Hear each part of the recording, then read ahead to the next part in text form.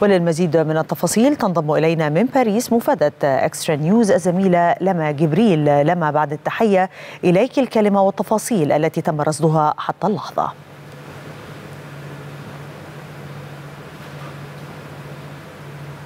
الكرام من العاصمة الفرنسية باريس من خلفي القمة يعني دائرة. الآن كما تتابعون مشاهدينا الكرام على الهواء مباشرة من أجل ميثاق مالي عالمي جديد. بالفعل تحدث الرئيس الفرنسي مانويل ماكرون ومن بعده بعض الخبراء الاقتصاديين العالميين في هذا المجال وهذا الإطار.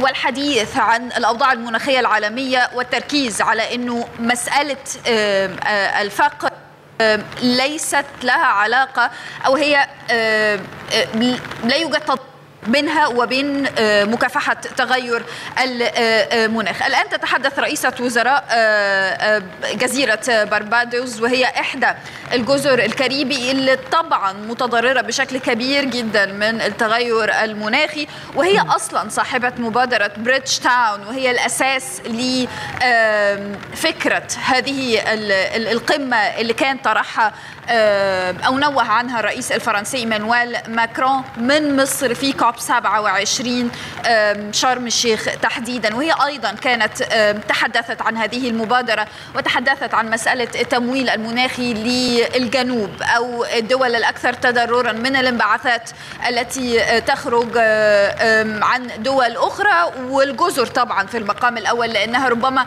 تعد في المرتبة الأول الأكثر تضررا. الحديث كله دائر دعاء حول الإرادة. حول الاستثمارات الذكية والاستثمارات القطاع الخاص في البنية التحتية الخضراء لأنها بتعد الأكثر تكلفة بشكل أو بآخر. والحديث أيضا يدور على نظام مالي عالمي جديد.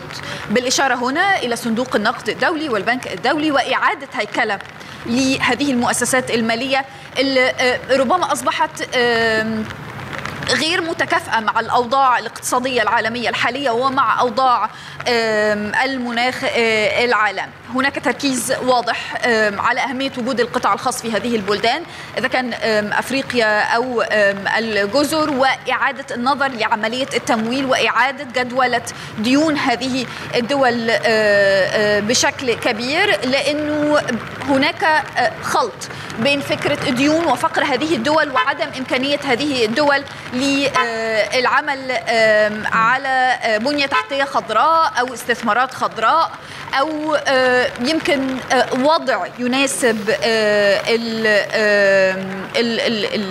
التحديات العالمية من حيث تغيرات المناخ. الحقيقة انه رئيس السيسي من أول الرؤساء وهو متبني الرؤيه الأفريقية وصوت أفريقيا فيما يتعلق بالتغيرات المناخية وأضرار هذه التغيرات على القارة الأفريقية. منذ الثورة الصناعية الأولى الحقيقة دعاء وتضررت القارة الأفريقية ولم تنتفع منها. حتى وصلنا للتطور الرهيب في التكنولوجي. وحتى هذا التطور لم تستفيد منه القارة الأفريقية بل على العكس طالها الكثير من الأضرار من وراء هذا التطور.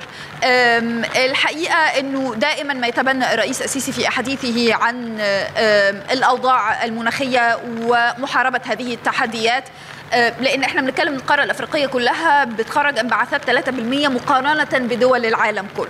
فالحديث دايما حديث المصري إنه يكون في آلية تمويل آلية تمويل بشكل إنمائي آلية تمويل في إطار منح وليس مسألة اقتراض لأن إحنا كده هنرجع تاني لأقساط ولفائدة زيادة على الدول النامية أو الدول الأفريقية نظرا لتصنيفها في المؤسسات المالية العالمية وده أمر أصلا بيتم المناقشة فيه الآن في هذه القمة لأنه كيف يعقل أنه دول بهذا الفقر تدفع فايدة أكبر بكثير من الدول المتقدمة إحنا بنتكلم في 14% فيما فوق.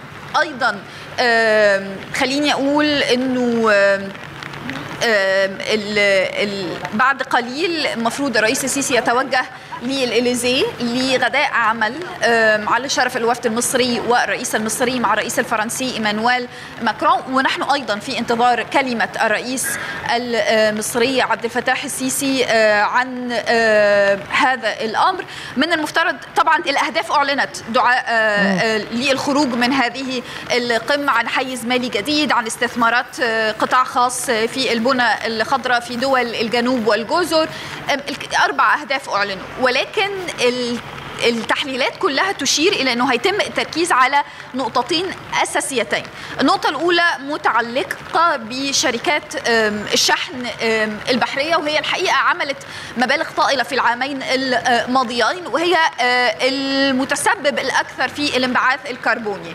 فالتفكير الدولي كله الآن ينصب في فرض ضريبة دولية على هذه الشركات الضخمة وهذه الضريبة توزع بشكل عادل على الدول النامية والجزر المتضررة من التغير المناخي النقطة الثانية متعلقة بإعادة هيكلة للمؤسسات المالية.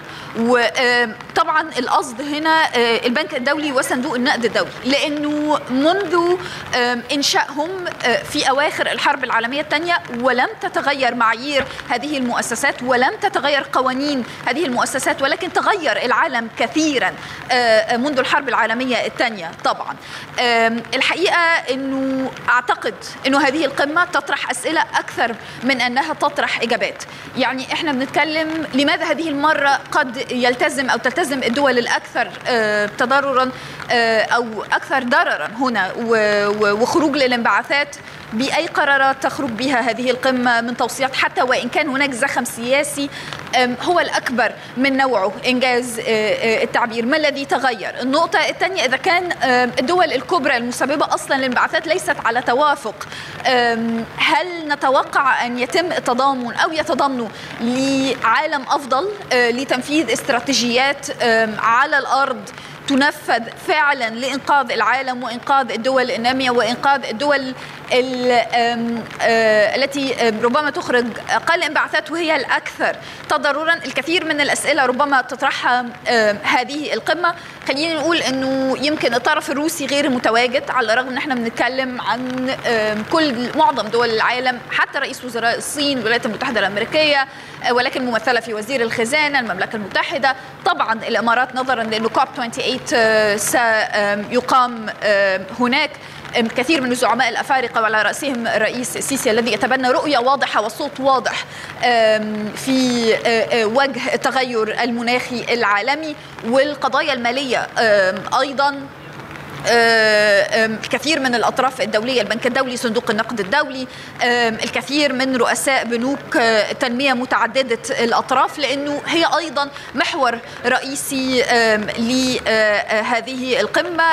كما ذكرت لك دعاء بعد قليل نتوجه لقصر الاليزيه وربما أوافي حضراتكم من أمام القصر بعد انتهاء الرئيس السيسي من كلمته هنا وتوجهه إلى هناك في غداء العمل مع الرئيس الفرنسي إيمانويل ماكرون. نعم لما جبريل ونحن بالتأكيد في انتظار كل جديد. جزيل الشكر لك.